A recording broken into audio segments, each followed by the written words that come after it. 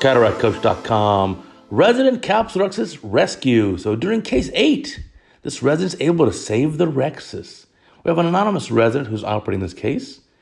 And so it's phaco with IOL. So starting off here, sitting superior, making the paracentesis, putting some trypan blue dye. And a trypan blue dye is helpful for a young resident starting off. And for case number eight, I can encourage that even though the red reflex is so good, it can make the rhexis a little easier because it makes the capsule a little less elastic. So viscoelastic going inside the eye, and that's a pretty good fill there.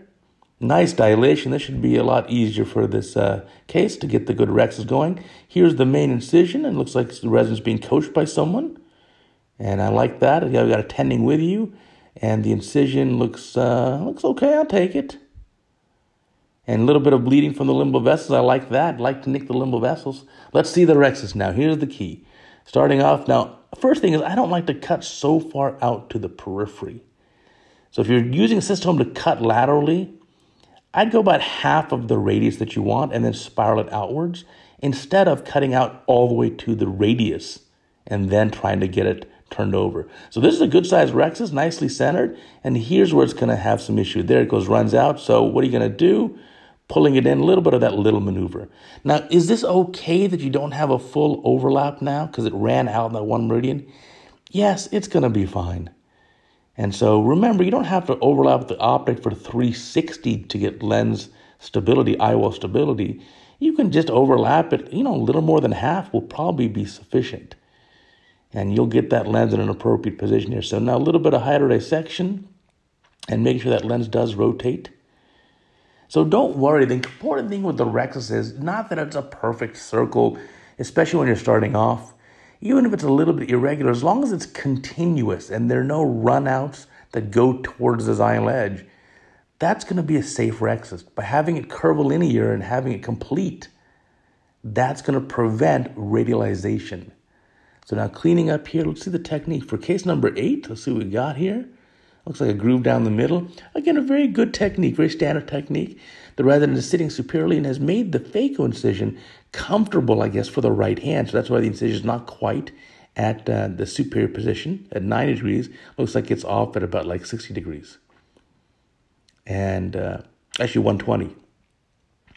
So here we go, cleaning up here. Oh, nice little chop bit. So using some sort of spatula to do the chop. Not too dense of a cataract, which is a good choice. When you're first starting off, don't just book these really difficult, dense rocks.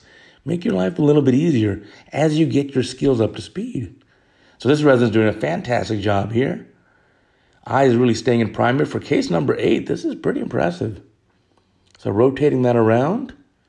So resident really has great potential here. I'm, I'm quite encouraged. And I like, if you're doing a chop with the spatula, wow, wait till you graduate to a nice, uh, real good chopper. So very nice technique here and then the rest of the nucleus can be aspirated pretty easily. You know, one of the hard things when you're learning cataract surgery as a young resident, you've done less than, let's say, 50 cases or 100 cases, you realize that every step of the surgery relies on the previous. Meaning, if you have a bad incision, well, now you're going to have anterior chamber instability.